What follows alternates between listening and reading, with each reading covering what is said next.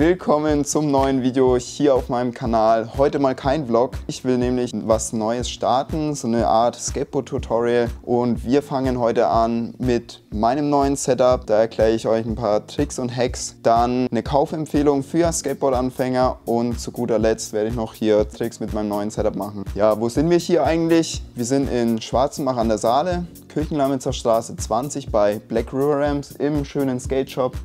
Ja, da kann man sich mal umschauen. Hier, wenn ihr auf jeden Fall ein Setup braucht, kommt vorbei. Ist auf jeden Fall eine Empfehlung wert.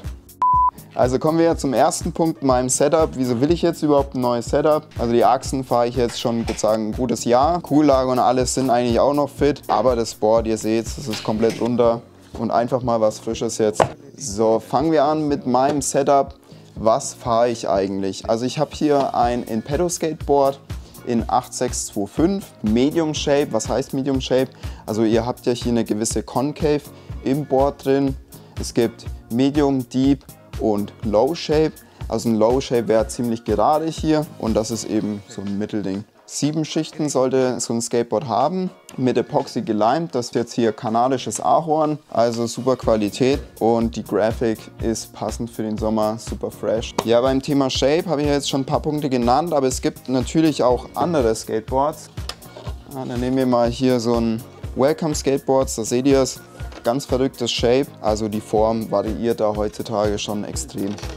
Ja, was kostet jetzt so ein Skateboard? Also ihr müsst ungefähr rechnen zwischen 45 bzw. eher 50 Euro bis 70 Euro in dem Profi-Segment. Ja, am Ende des Videos mache ich dann auf jeden Fall nochmal eine komplette Summe für euch, was jetzt mein Setup insgesamt kostet und verlinke euch natürlich die Sachen auch unten. Dann mit dem Grip Tape. Hier habe ich jetzt ein No-Name Anti-Bubble Grip Tape. Was heißt Anti-Bubble? Das heißt, wenn ihr das später drauf macht auf Skateboard, bilden sich keine Blasen. Es hat hier so ganz viele kleine Löcher. Es gibt verschiedene Körnungen von den Herstellern, aber die sind meistens nicht angegeben. Und standardmäßig kommt so ein Grip Tape in 9 Inch Breite. Thema Preis bei dem Grip Tape liegen wir jetzt hier bei so einem normalen bei 4,99. Geht aber auch je nach Graphic hoch bis zu 15 Euro. Also Grip Tape und Board, das schrauben wir schnell mal zusammen. Was braucht ihr dafür? Ihr braucht was zum Ausreiben und ein scharfes Cuttermesser. Ich ziehe das Grip Tape komplett ab, dann nehme ich mir das Board so her. Ich nehme das immer so auf Spannung, klebe das hier auf Nose und Tail, schaue, dass es schön mittig ist, dann einmal in die Mitte. Und jetzt seht ihr auch schon, wieso Anti-Bubble, keinerlei Blasen hier, zack. So, wenn es ausgerieben ist, mache ich mir immer hier kleine Ecken rein. Zack. Zack, zack. So, und wenn ihr das jetzt schneiden wollt, passt mit dem Winkel auf, wie ihr das Messer haltet, weil sonst schneidet ihr euch ins Board. Also am besten gerade und zu euch ziehen. Mega. So, wenn ihr es ausgeschnitten habt, nehmt noch ein Stück von dem Grip Tape schreibt hier einmal außen drum. Wieso? Ähm, wenn ihr dann später zum Skaten anfangt, kann es sein, dass ihr euch hier so kleine Kanten rausbrecht. Deswegen kurz diese Kante wegschleifen, dann ist es ready. Nehmt euch noch einen spitzen Gegenstand, könnt ihr hier noch die Löcher ausstechen. Bums, fertig.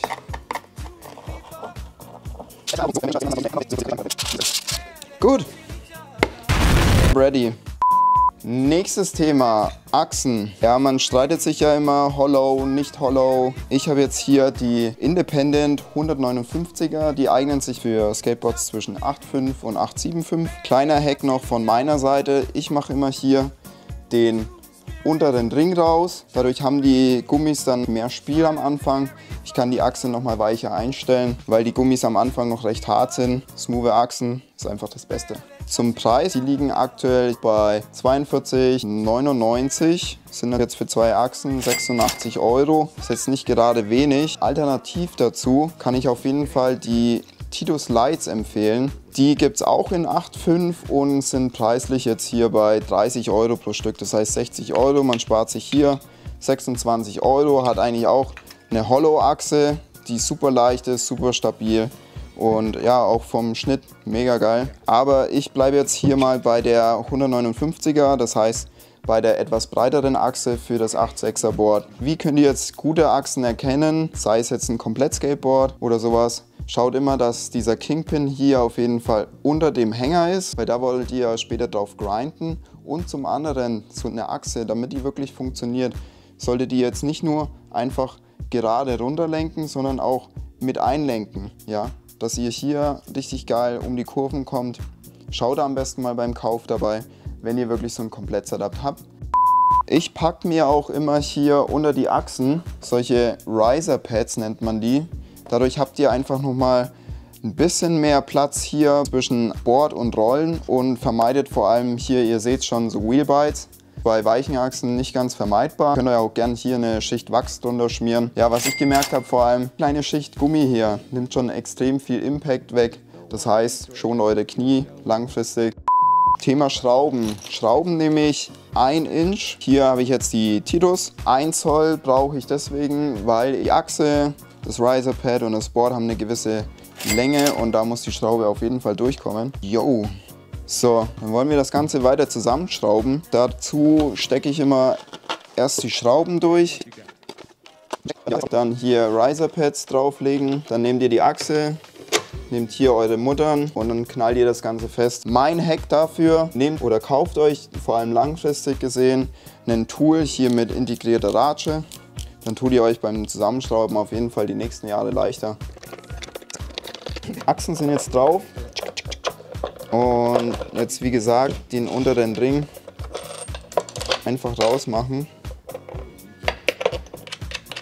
Eigentlich schraube ich die jetzt nur bündig hier oben, dass die hier super soft sind. Dann passt der Lack. So, und jetzt sieht man das zum Beispiel auch, was ich vorhin gemeint habe. Eine Achse sollte nicht nur vertikal einfach runtergehen, sondern auch mit einlenken. Das heißt, hier diese Rotation mit drin haben, dann kommt ihr auch schön um die Kurven. Also achtet da auch mal bei euren Achsen drauf, ob die das machen oder nicht, weil sonst ist das ganz komisch. Im Feedback einfach, ihr lenkt, ihr lenkt voll ein und es tut sich nichts, das Board lenkt nicht.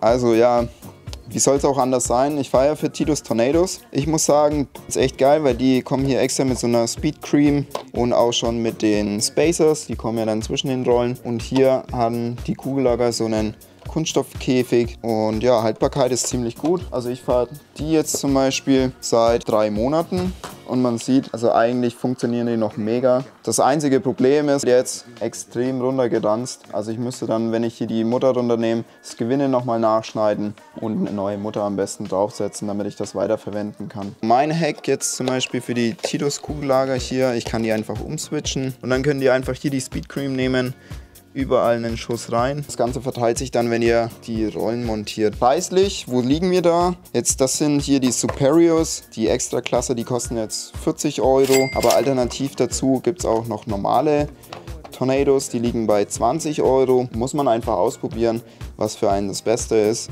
Also Thema Rollen sieht äh, wie folgt aus. Ich bin die letzten zwei Jahre immer diese Bounce STF gefahren. Da gab es eine Kollabo mit Titus zusammen in der Größe 54 mm.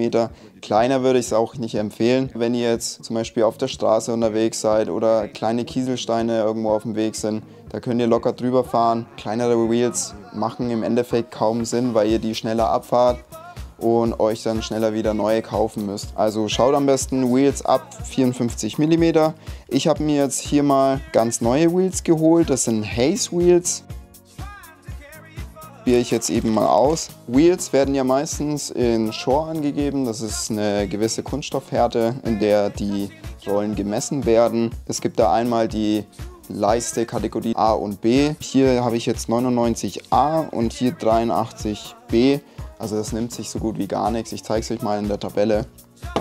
Genau, preislich liegen jetzt die Haze Wheels hier bei 40 Euro. Und die Bones Wheels, ja, die sind natürlich etwas teurer auf dem Markt. Also die kosten 55 Euro. Es gibt natürlich auch günstigere Wheels für 20 Euro. Allerdings sind die dann nur aus hartem Kunststoff. Das heißt extrem glatt die Wheels. Ihr werdet langfristig damit keinen Spaß haben. Hier so eine Mischung aus hart und weich sind eben dazu geeignet, dass ihr weniger Flat Spots bekommt. Ich muss sagen, ich war die letzten Jahre immer sehr zufrieden und bin gespannt, wie sich hier die Haze Wheels schlagen. Sagen. Ich werde euch dann jetzt am Ende nochmal so eine Gesamtsumme hier einblenden, was das ganze Setup euch kostet. Wie bekommt ihr jetzt am schnellsten die Kugellager in die Rollen? Also ihr nehmt hier einfach die Mutter weg, dann steckt ihr das Kugellager mit dem Käfig nach oben, dann das Spacer und Käfig wieder hier oben rein. Ich mag es gerne, wenn die weiße Seite nach außen zeigt.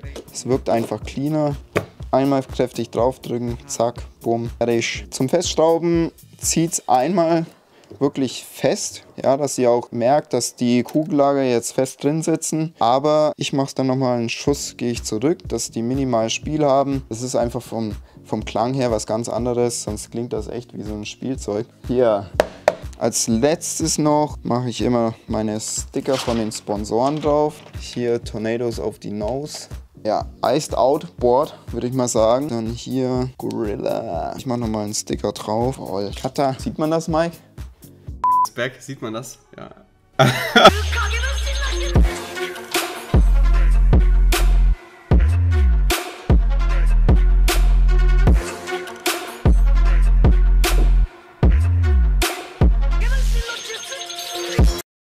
wie in so einer Kochshow machen. Ich habe da schon mal was vorbereitet. Ne? Zweiter Punkt. Das Board haben wir jetzt fertig zusammengeschraubt. Gesamtpreis lag hier bei Euro. Ich meine, das ist eine Menge Geld, ja. Aber man darf nicht vergessen, das hier ist jetzt ein Profi-Setup. Also so fahre ich das, so fahren viele Pros das. Man kann noch Einsparungen betreiben, hier eben bei den Achsen oder bei den Kugellagern, bei den Rollen und dann kommt ihr auch mal so bei 150 Euro raus. Ich habe euch ja gesagt, ich habe eine Kaufempfehlung für euch und da habe ich hier dieses Setup von Impedo Skateboards und Preis-Leistung muss man sagen, ist fast unschlagbar. Also für 100 Euro gibt es das aktuell. So ein Komplett-Setup. Ihr müsst mal auf die Website schauen. Ich verlinke euch das. Hier auf jeden Fall mit Tremendous Achsen. Die sind mega. Hier ABEC 5 Kugellager und 52 mm Rollen und ein siebenfach geleimtes auch an Bord und das ist eigentlich meine Kaufempfehlung für euch. Also ich habe damit auch schon ein paar Schüler ausgestattet, funktioniert super. Kleiner Tipp für diejenigen, die dann das Ganze noch ein bisschen tunen möchten, macht euch andere Gummis rein, Riser Pads rein und längere Schrauben. Dann habt ihr hier nochmal ein bisschen mehr Platz zum Lenken und dann ist das Ding tippitoppi. Ganz wichtig, wenn ihr jetzt größentechnisch schauen wollt, was fahrt ihr, was wollt ihr fahren? Also ich würde sagen, bis Schuhgröße 40, 8 Inch und alles darüber definitiv ein 8,5er Board, 8,25 geht auch noch, aber breiter ist immer besser. Ihr sollt ja auch richtig im Skateboard drin stehen, die Schuhe hernehmen. Also ihr seht, ich stehe minimal über das Board. Klar, ich kann auch ein 9 Inch fahren, aber für mich ist das das optimale Mittelmaß zwischen Technik, Bowl-Skaten, Word-Skaten, alles mögliche, All-Terrain. Das hier wäre zum Beispiel ein 825er. Ihr seht, da würde mein Fuß nur halb drauf passen. Das ist ja auch nicht geil, wenn ihr als Anfänger nur auf den Zehenspitzen fahrt. Sucht euch wirklich ein schönes breites Board aus, wo ihr richtig schön im Board drin steht. Genau. Wir skaten jetzt mal mein neues Setup hier in der Mini-Ramp. Also ein neues Setup zu skaten ist so schwierig, aber wir schauen mal, dass ich noch was hinbekomme. Kleine Empfehlung noch zu Schuhen. Hier die von Nike Speed, müsst ihr mal auschecken. Die haben hier oben nochmal so eine schöne Gummisohle und man sieht's. Alter, ich glaube man sieht's. Also die halten echt ewig. Ich glaube, die sind jetzt schon gut eineinhalb Monate alt. Top. So, ich würde sagen, machen wir mal das Try, ne? Hier.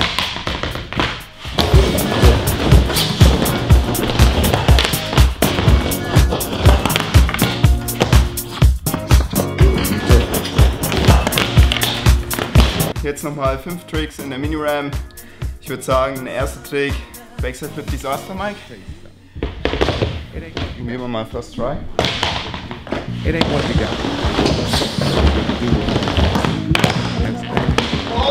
Machen wir nochmal eine Clean Version. It ain't what you do.